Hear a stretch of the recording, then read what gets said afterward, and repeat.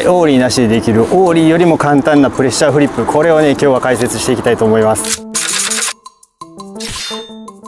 はい皆さんこんにちは。スケボー歴36年 FS 男藤谷です。今日はプレッシャーフリップの解説ということであの結構最近ねやってる方多いと思うんですけどオーリーよりも難しいと思ってチャレンジすらしてない方結構いるんじゃないかなと思います。でも実はオーリーよりもめちゃめちゃ簡単めちゃめちゃって言ったら怒られるけどまあまあ簡単なんですよ。でなんでかっていうとあの前回の僕の動画見ていただいた方は分かると思うんですけどオーリーね僕めちゃくちゃじゃないですか。あんだけぐちゃぐちゃでもプレッシャーフリップは結構ねできちゃったりします。あのジャンプ力が必要とか結構足の使い方難しいって思われてる方いるかもしれないんですけど、まあ、重要なねあるコツが分かればあの意外とできちゃいます。なのでまあ今日はねあのまずやり方やってでその後まあコツ重要なコツのところをお話ししてでまあそうは言ってもやっぱり失敗するんですよ。だからよく見かける失敗とその解決方法をやってまあ応用ねいくつか動画あったりするんでそれちょっと見ていただいてで最後にオーリーよりも簡単な理由っていうのが実はあってでそれをちょっと最後にお話しして終わろうかなと思うんで是非最後でチェックしていってください。っていう感じでやっていきたいと思います。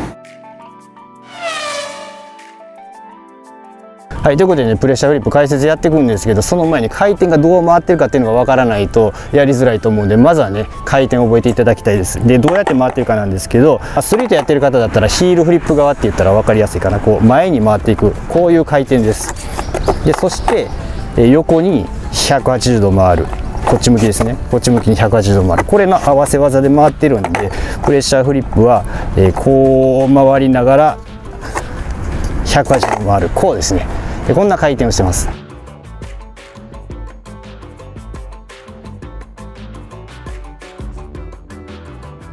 さあプレッシャーフリップの原理なんですけどあのプレッシャーの名前が示す通りですね。こう押しつぶすようにしてデッキにこうフリップ回転を加えます。なのでまっすぐ蹴るだとあのぐるっとこう回ってこないんですよね。実際に足の親指のこの辺でねこの丸つけたら辺をこう押してあげるとこう板がこういう感じで、ね、じれるのが分かると思います。でこのままつま先でこう中にこう押し込むことによってフリップとこうね横回転同時にかかってきます。でこう回ってきたとこううまくめがけて着地する。まあこれがプレッシャーフリップの原理になります。スタンスはここですね。ちょうどこの端っこ潰すっていう話があったと思うんですけどここに対して、えー、ままっすぐでもやりやできる人いるんですけどこう45度が、まあ、もうちょっと角度つけた方がやりやすいという人もいます。でこの辺はちょっと探ってみてもらえればと思うんですけど、まあ、なぜねこの端っこの方ですね。この辺。この辺を踏むようにします。で前足はどうするか。前足結構聞かれるんですけど結局前足って全然使わないんですよ。だからあのできるだけねこう逃がせる位置。前の方だとやっぱあの上げた時引っかかっちゃったりするんで結構あの手前の方手前の方で、えー、しかも外側に置いといた方がこう逃がしやすいんで、まあ、この辺に置く人が多いんじゃないかなと思います。だいたいスタンスこんな感じですね。はい。はい、原理分かったと思うんでプレッシャーフリップの練習方法ステップ1は回転を実際にやってみるですね。つま先使ってさっきあのこう押したらこうねじれるっていう感じのがあの分かったと思うんですけど止まった状態で構わないです。これで一回ちょっとねあの自分でこう潰すような感じで蹴ってみてください。あの最初多分回んないと思うんですけどここから一回ね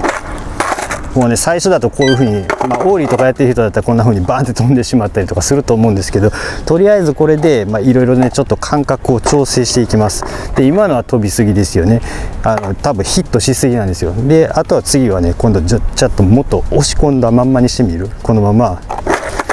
でこれだと押し込みすぎ。あのデッキがね飛ばないですよね。でこの中間ぐらいを探っていきます。でこれあのデッキの形状だったりとかあと自分の足の蹴る力の強さとかでこの回転の回り方とか変わってくるんで足のこのね場所もちょっと探りながらやってみてください、まあ、基本は端っこにあの自分の足のこう母子筋とこう押し当ててそのまま潰すっていう感じなんですけどこれ場所をね少しこう回りすぎるって方は内側に入れてみるとか、まあ、そういう調整をねちょっとやってみてください。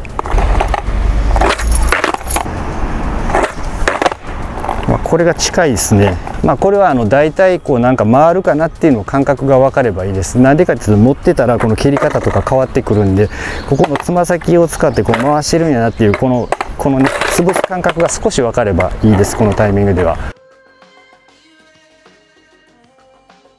はいとりあえず回し方分かったと思うんで実際こうゆっくりスピードで走ってみて回す練習のとこから始めてみます。でステップ1はあのさっきのスタンス作ったじゃないですか。このスタンスができたらこの状態で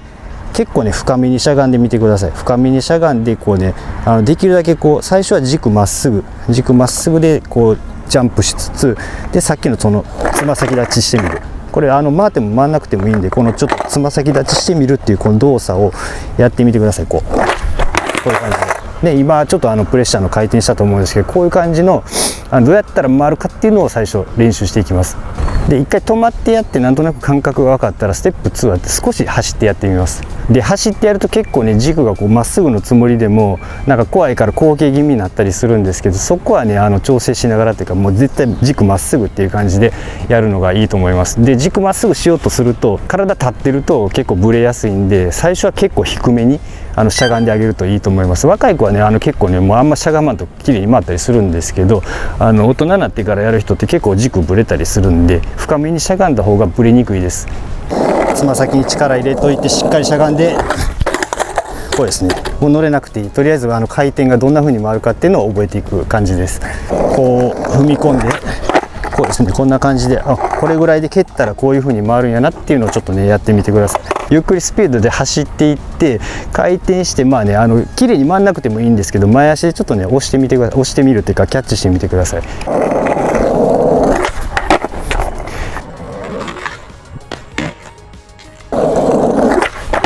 こういう感じですね。前足だけ掴むっていう感じでやっていきます。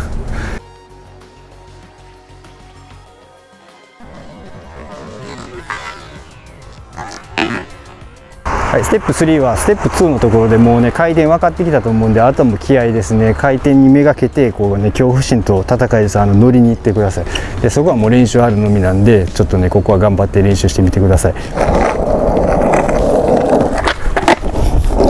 ああちょっと怪しいけどまあまあこんな感じかな。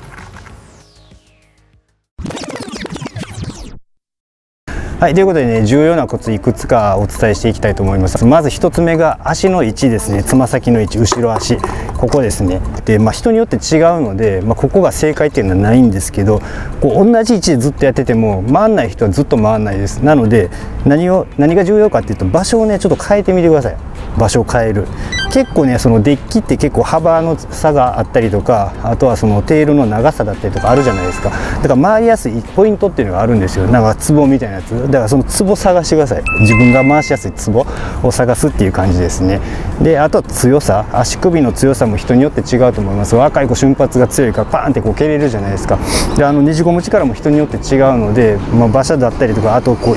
強さのイメージをちょっと変えてあげると回転結構ね綺麗に回ったりするんで、まあ、その辺をまずイメージしてみてください。でそれからプレッシャーフリップっていうぐらいだからこうね圧力かけて回してるんですよ。だからあのオーリーが上手い人は逆にできなかったりするんですけどあの押しっぱなしにするっていうそのイメージですね。プレッシャーフリップ押しっぱなしにする。ここをこうずっとこうグーッと押し付けてそのままこうね地面にこうねじ込むようなイメージを持ってやるとまあ、意外とちょっとね動きが変わったりするんで押し込みっぱなしにするっていうイメージをねちょっと持ってやってみていただければと思います。でそれから軸の位置ですね。あのこう構えた時にさっき僕はあの結構前に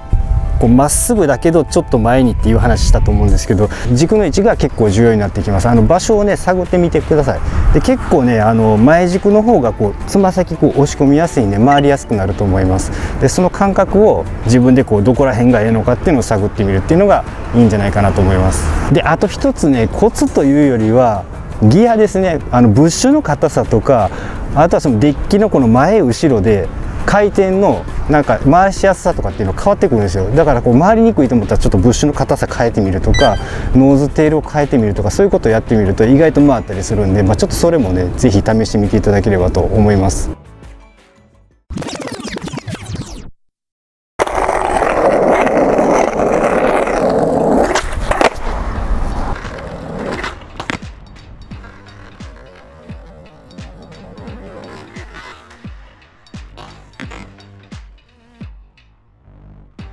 恐怖心で後傾になってるパターンの場合はそもそも止まるぐらいのゆっくりのスピードでやってみるか走っててもいいんですけどほぼほぼ止まるまで待ってからやってみるっていうのを試してみるといいと思います。でもう一つあの単純にまっすぐ飛べてにゃっていうパターンもあって最点よりも先にまっすぐ飛ぶっていうところをイメージするといいんじゃないかなと思います。横回転が足りなかったですね今のは。潰してあの180度回らないパターンの時って横横っていうかこうねじ込みが足りないケースが多いのでこうねじ込みを、ね、もうちょっと強くしてあげると結構ね綺麗に回ってくると思います。ねじ込みが足りない2つのパターンとして1つ目は蹴り足のねじ込む力がそもそも足りないパターンですね。でこの場合はつま先にすごい集中してさらに奥まで押し込むイメージでやるとちょっと改善するんじゃないかなと思います。でもう一つが進行方向向きのねじり前向きにねじりが足りないパターンなんですけどこのパターンの場合は体の向きだったりつま先の角度を変えることでうまくいく場合があるのでちょっとそれを試してみていただければと思います。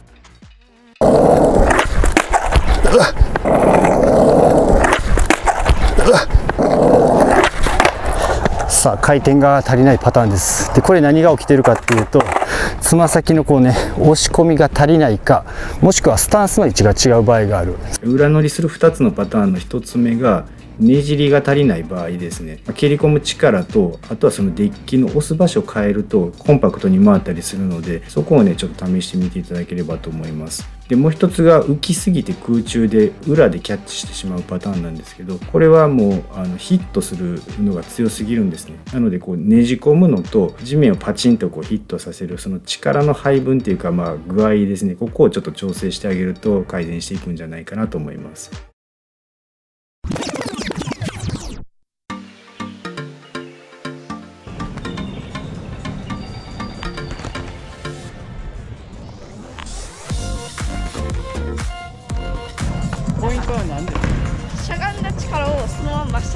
れたら縦が。真下に伝える。ちょっとちょうどね一級プロがいたんであのプレッシャーフリップのバリエーションいくつか見せてもらおうかなと思います。お願いします。はい。じゃあ、で今のは何ていう技ですか？ハードプレッシャー。プレッシャープレッシャーハード。逆のプレッシャーですね。逆です。はい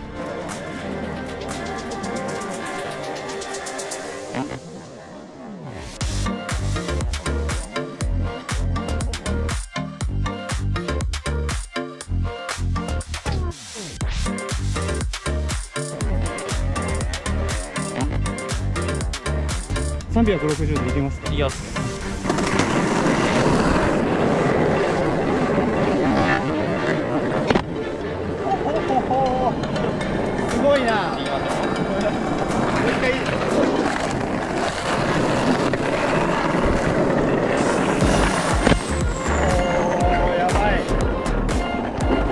ありがとうございます。360度。ちなみに普通のプレッシャーと比べてどういうふうに蹴ってる感じ？そうですね。潰し方はもうプレッシャーと一緒なんですけど、うんうんサブロックポップとかちょっとショービット気味のプレッシャー。ああ横回転加えるためにショービットを入れるみたいな。押し込みを強くする感じそう。でもどっちかといえばプレッシャーはもうただ仕込むだけなのをうん、うん、気持ちショービットの足を入れてあげる。ああなるほどな押し込みとはい気持ちしゃくりぐらいを入れると綺麗に回ります。ありました。ありがとうございます。